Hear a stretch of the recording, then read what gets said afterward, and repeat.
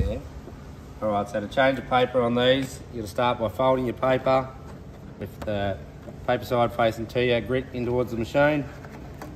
Put it into the slot. Don't make sure it sits down flat in the bottom.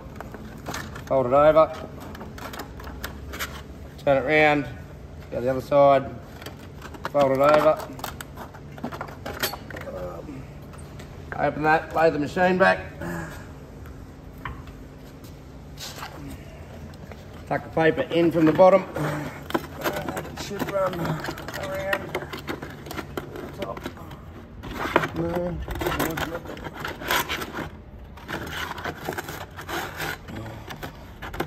Bring it around to the slot.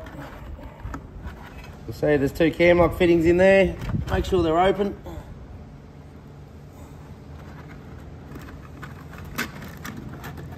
One side in, and the other. Make sure it's as square as possible and pull it in tight with your hands. Then take a 12 mil spanner, close the cam locks up slightly so they go a bit tighter. And once the left hand side one goes hard, nip up the right hand side one a little bit more. And that should be it.